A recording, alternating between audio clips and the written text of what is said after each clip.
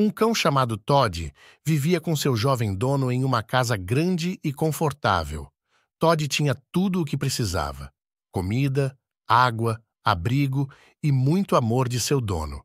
Mas Todd tinha um desejo secreto. Ele sempre quis conhecer a floresta que ficava além do seu quintal. Ele se imaginava como um cão selvagem, ameaçador, caçando na selva, assim como seus ancestrais faziam.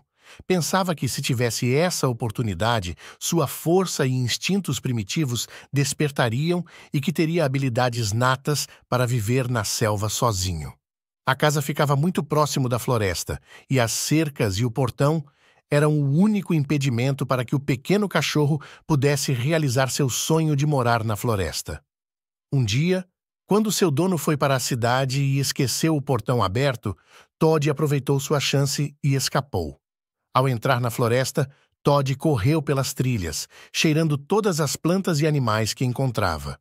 Ele estava tão animado que nem percebeu quando começou a escurecer e a floresta ficou silenciosa. De repente, Todd percebeu que estava perdido. Ele tentou voltar pelo caminho que veio, mas tudo parecia diferente e desconhecido.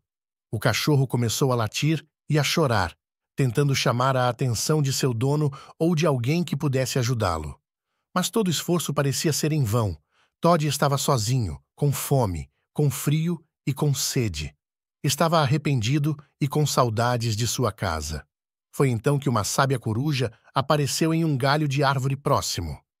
Ela perguntou a Todd o que estava errado e ele contou sua história. A coruja então disse a Todd que ele precisava se acalmar e usar sua inteligência e concentração para encontrar o caminho de volta. Ela explicou que, como um cão ele tinha um faro aguçado, então ele teria de aproveitar esse dom e tentar sentir o cheiro do caminho que já tinha percorrido. Todd estava pouco confiante que poderia farejar tão bem, mas se esforçou para conseguir. Até que começou a perceber cheiros familiares.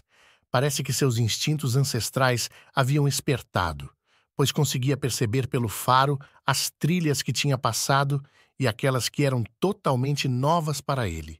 De repente farejou um aroma específico, sentia ao longe um cheiro de chá de hortelã, justo o chá que seu jovem dono mais gostava e que sempre tomava quando estudava ou quando estava preocupado. O cachorrinho acelerou seu passo em direção ao aroma familiar e então graças às próprias habilidades, conseguiu voltar para casa. Quando chegou em casa, seu dono estava muito preocupado e ficou muito feliz por tê-lo de volta em segurança. Todd aprendeu uma lição importante, que utilizando seus dons com paciência, inteligência e concentração, poderia superar qualquer desafio. Desde então, Todd continuou a amar a natureza, mas sempre ficou perto de casa, onde ele se sentia seguro e amado. E assim termina nossa história de hoje. Deixe seu comentário. Você gostaria de ter um cachorro como o Todd? Comente se você também tem um animal de estimação. Gostou dessa história?